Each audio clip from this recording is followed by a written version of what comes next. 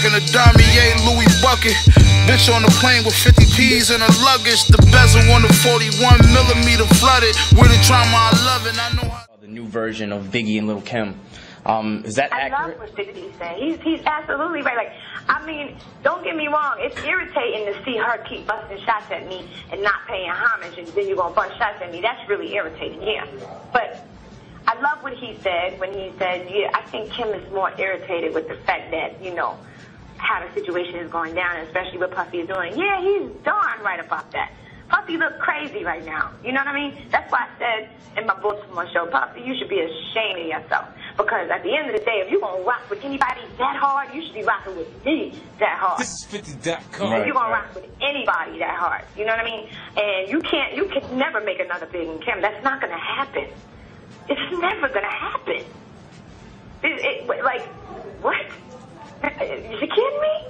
It's never gonna happen. Like, I don't get it. But you know, at the end of the day, like, Puffy is Puffy. He will never, he will, oh, I mean, you know, it's all about what he can do, what he can give to people. That's it. Puffy is, it's all about himself a lot of times. Because he never really did nothing for me. I mean, when we were coming up, yeah, you know, we had to do things for each other. But, like, I judge by what happened afterwards. When I was locked up, and here's where Puffy should feel really bad. When I was locked up, Puffy never put a fucking $10 bill, a, a penny, a quarter in my fucking commissary.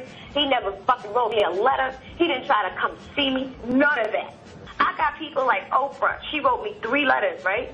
She, she, she wrote me three letters and sent me three of her favorite books, which I love her to this day for that because those books were so inspiring. And one of them, well, I- I'll tell you the name of the books later, but anyway, you know, Tyra Banks writing me. Marc Jacobs wrote me every freaking day. Every freaking, he told me everything that was going on from his, the, when he first woke up to the end of the night. What, what, what does it take? just to say, let me make sure somebody who was a major part of my family is all right. You know, wait, like when you when you locked up, the one major thing is that that makes you feel like, damn, this person really loved me and is on my side. Is that This is when they just take the time out to do one little thing. It's not even the big things that matter because it ain't the money. I was straight in jail. I, I, I I had too much money in my commissary. When I came home, they had to send my money back. It wasn't that. But nigga, you could have fucking came to see me one time. You could have wrote me one letter. Even with the movie, they played the shit out of me with that movie. And I'm still rocking, even after they played the shit out of me with the movie. And there was some controversy. There's some controversy about that. What was your major issue with your portrayal in the movie? Shit, what? My major issue was I didn't have an issue. I didn't have nothing. I didn't have a case This is 50.com. The movie went into green light and all that shit without me even being able to pick who played me. I would have never picked Notori Horton, Nort, or whatever. What's her name? Notori Norton, whatever. I don't. I'm sorry. I don't want to fuck. She ain't got nothing to do with it. it she's she's a nice girl. She's a sweet girl. I don't really know her that well, but she don't have nothing to do with it. But I would have never picked her to play me. She kidding me? I'm such a complex girl. I'm made up of a, a certain gangster that can't be copied from Brooklyn, and then I'm made up of a certain sexy sophisticatedness that cannot be duplicated. I'm, I'm, I'm a complex person. Like, I know that I have these different sides, and I'm not a fucking angry person all the fucking time. That shit didn't happen in the studio with me and Faith. Faith was the one that was mad all the time. Because I was the, I was the mistress, I guess, whatever. You know?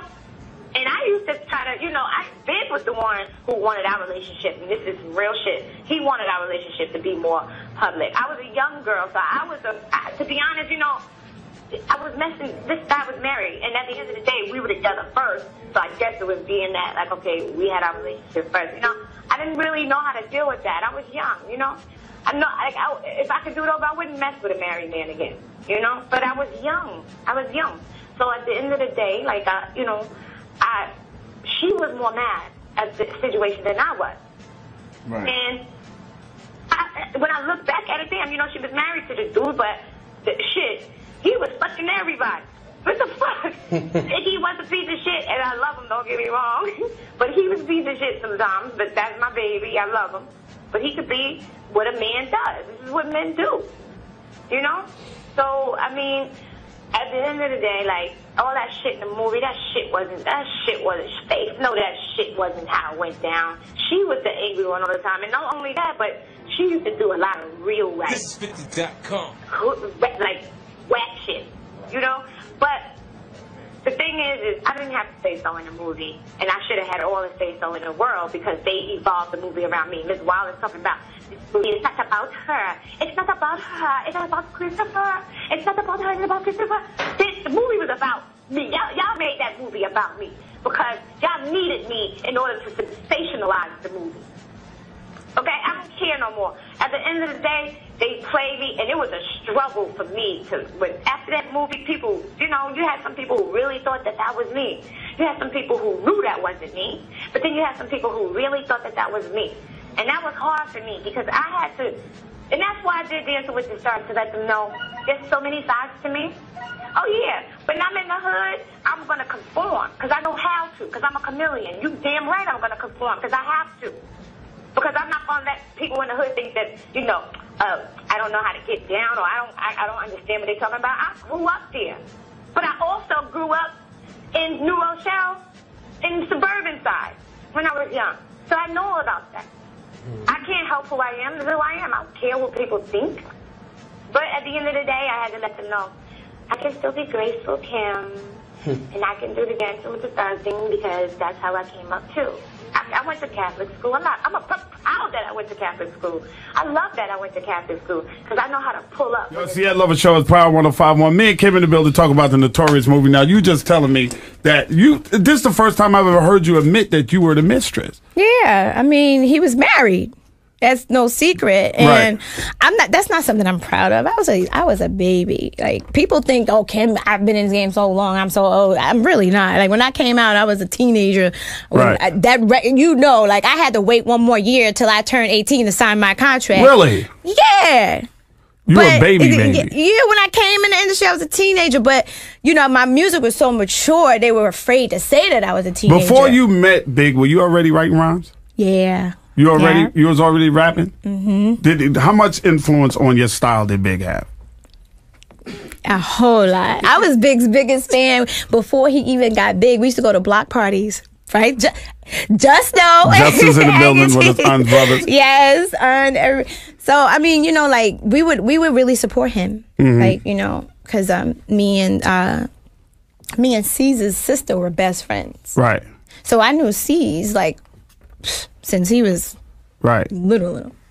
right. And knew Biggie since before the deal with Puff and before getting dropped from Uptown and before Bad Boy Yep. and We used to- before all of that. Was Junior Mafia always in the works for you guys? Was that always something that he was he was going to do? Well, those was his little homies, you know, and so he just wanted to bring them up. Big, Big was just.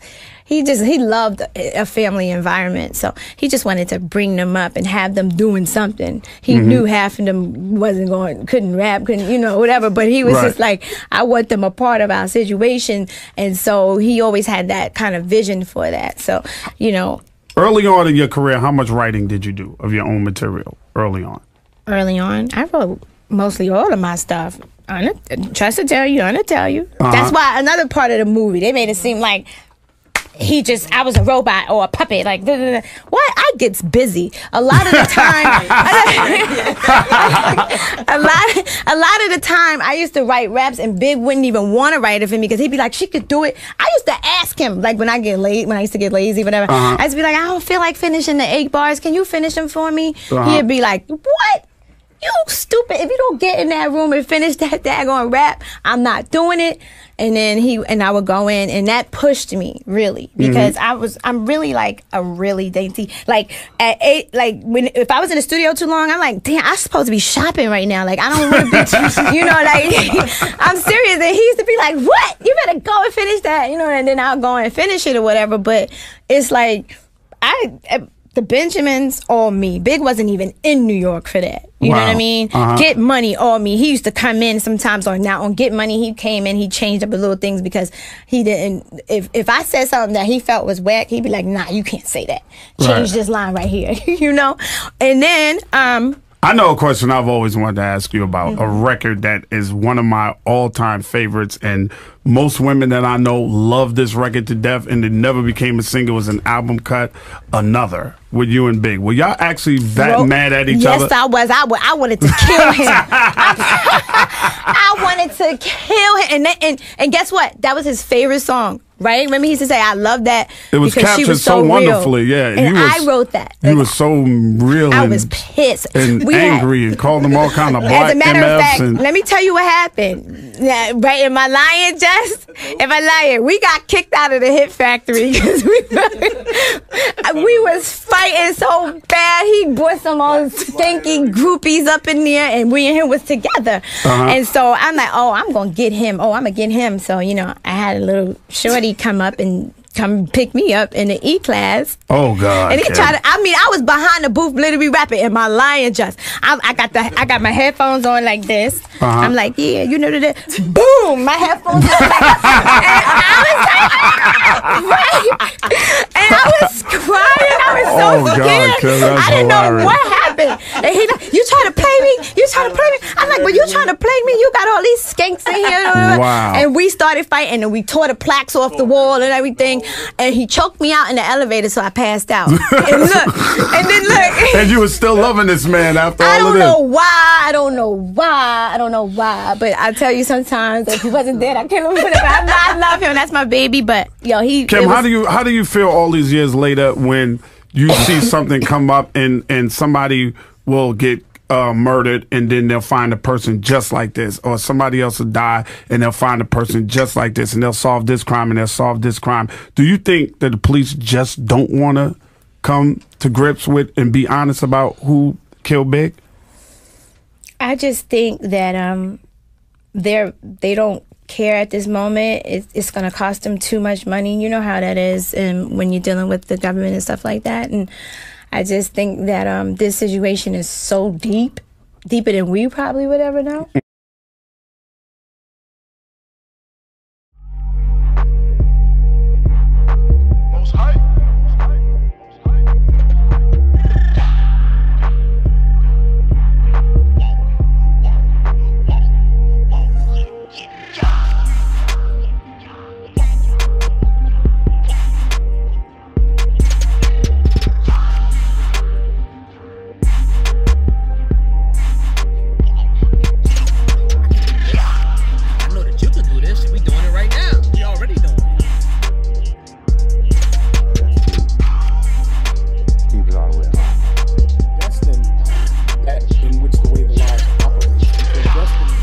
Have to take the leap of faith to step out there and trust the fact that these people, us brothers, myself, oh God, Darren, Kansu, have lived this journey, have been through these experiences, have been through these trials, have learned and have gained success through the formula that we want and wish to provide for you.